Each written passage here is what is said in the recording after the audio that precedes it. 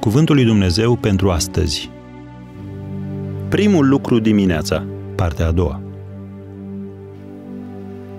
Doamne, auzim glasul dimineața. Psalmul 35, versetul 3.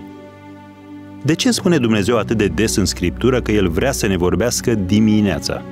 El ne poate vorbi în orice clipă dorește, nu?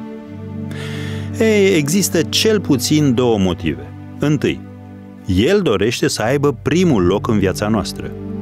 Dumnezeu vrea să fie numărul unu pe lista noastră de priorități în fiecare zi.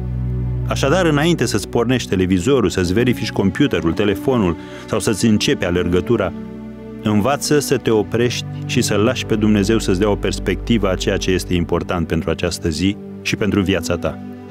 Vei fi uimit de soluțiile pe care ți le oferă, idei creative, un sentiment clar al călăuzirii. Vei descoperi că este adevărată promisiunea din Psalmul 37, versetul 23, Domnul întărește pașii omului când îi place calea lui. De fapt, după câteva săptămâni sau luni de viață în felul acesta, nu vei mai dori să te întorci la vechea rutină. Și un al doilea motiv pentru care Domnul vrea să ne vorbească dimineața, El dorește o pagină albă pe care să scrie. Ai încercat vreodată să vorbești cu cineva care nu este atent sau care este preocupat de altceva? Parcă n-ai vrea decât să pleci de acolo. Însă când persoana aceea este într-adevăr importantă pentru tine, încerci să-ți alegi un moment în care știi că te va asculta efectiv. Ei bine, tu ești important pentru Dumnezeu și El dorește să-ți vorbească.